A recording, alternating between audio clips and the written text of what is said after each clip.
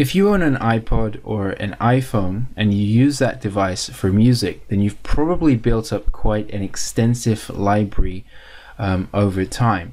And what you may have realized, perhaps maybe a bit too late, is that if something happens to your computer and specifically iTunes, perhaps you format your computer and reinstall iTunes, you'll find that you cannot resync your iPod with your computer anymore. And what that means is, is that of course you cannot add new music to your iPod, which can become quite annoying. Now in this tutorial, I'm going to show you how to um, copy all of your music library from your iPod or your iPhone so you can resync your iPod or iPhone with your new iTunes um, installation. Now we're going to be using a free software called Sync iOS to actually connect and import your uh, entire music library from your iPod or your iPhone to a specified folder on your computer where we can actually then use to um, import your entire library back into iTunes to resync with your iPod. Now, um, before we can actually get started, um, there's going to be a direct link in um, the description of this video, or alternatively, you can just visit our official website, which is simpletut.com. And once you're on our website, just simply browse over to our freebies section where you can download the installation for this software. All you have to do is go to the freebies section and look for the Sync iOS download. Um, and once you are here, you can simply download the software, which is of course a third-party software, but um, you can download it to your computer and install it easily. Okay, so let's get started with the tutorial. So I've got SyncIOS installed on my computer, which you can of course um, go ahead and install. Once you have it installed, um, all you have to do is launch it and then connect your um, your iPod or your iPhone with the uh, your computer. Okay, so once your iPod is connected up, you can come over to Media. And as you can see, this is your entire library. This is all of the music that is on your um, iPod. So all you have to do is select this box, which is going to check all of the music. And then you simply want to select Export.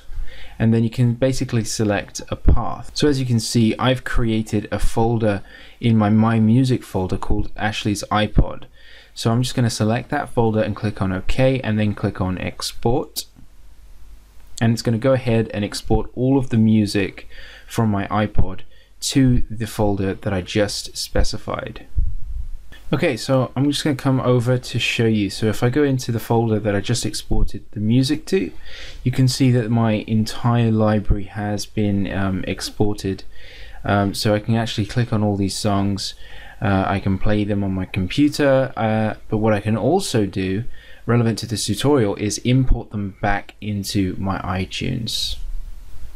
Okay, so obviously I don't have to do this because I, I, already have my music in here, but to basically import that music back, all you have to do is click on Add File to Library, and then obviously select the folder that you exported your music to, and then I'm just going to select all of the music in the folder which you can simply do by uh, holding control clicking control A on your keyboard and then click on open to actually import all that music back into your iTunes now once it is there um, you can easily connect back your um, iPod your iPhone and then resync it with your uh, new iTunes installation I hope you enjoyed this video tutorial and thank you very much for watching.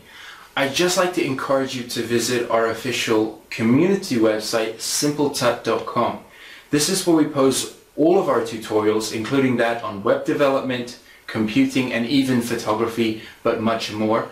Uh, some of our most popular tutorials include building a MySQL user registration system, but we also have PHP classes. I've shown you in videos how to uh, develop your own responsive website layouts, content management systems, there's tutorials on social networking, e-commerce, and much more.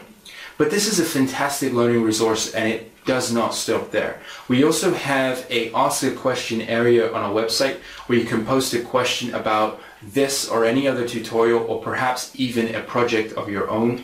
We also have a blog and a freebies section which you can use to access even more content. Now before you go, I'd just like to encourage you to actually um, like our Facebook page because this is a fantastic way for you to stay in, in contact with us. As we release new freebies, new tutorials, we will post them on our Facebook page and you can even make uh, suggestions for future tutorials all on our Facebook page. But before you go, I would just like to encourage you to check out one of our latest projects, cssmenucreator.com. Now this is a fantastic resource for you. It cuts your development time and makes building websites even easier um, because what it does is it writes the code for you when it comes to CSS menus. You can select from our growing range of uh, pre-built CSS menus, use the built-in uh, application to actually uh, build your menu and create your different options for your menu, and then you can actually uh, install that menu on your own website within Dreamweaver or whatever web application you're using to build your website. You just simply copy and paste the code into the website and we have video tutorials show you how to do it on a step-by-step -step basis. I would just like to say that uh, if you would like to make a contribution to our project, then we really would appreciate it. There is a donation button on simpletut.com uh, which you can use to make a contribution to a project. This is also a great opportunity for me to tell you about um, our official website, siteezy.com and there'll be a link in the description of this video. This is where we sell a huge range of pre-built websites and scripts and offer custom web design services. Some of our pre-built websites include a pre-built social networking website, um, e-commerce, content management. Um, these all include um, free installations and we offer much more such as property listings or file upload um, so it's a great uh, resource for anyone looking for a one-stop solution um, for your, uh, your project. We also offer a number of pre-built PHP scripts which is growing all the time.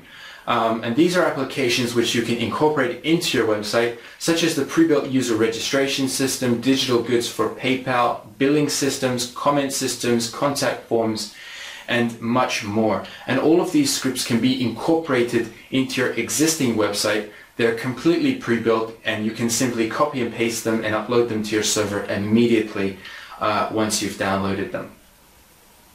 If you do have any questions, would like to get in touch, perhaps have a custom uh, job, uh, web, de web development project, uh, you'd like us to help you with, then please get in touch using any of our websites. We all have uh, we have contact forms on all of our websites. You can contact us via Facebook.